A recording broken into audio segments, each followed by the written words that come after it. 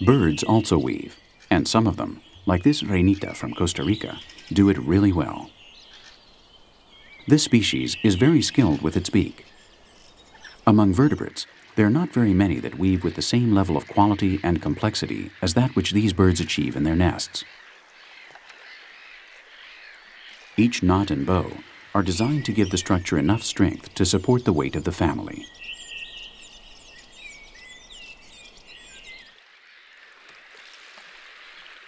Strength.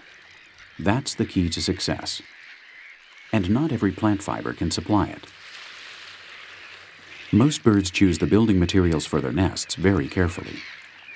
Their own safety and their chicks' safety demand it. Threads must be strong as well as flexible, so they won't break when intertwined. The best choice is tender green branches and long leaves.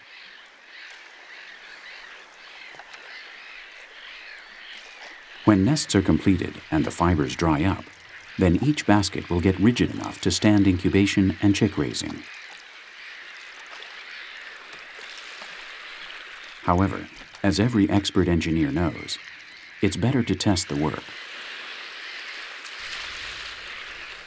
This is a strange way to control how much weight the structure can withstand, and there's no doubt it's a safe way.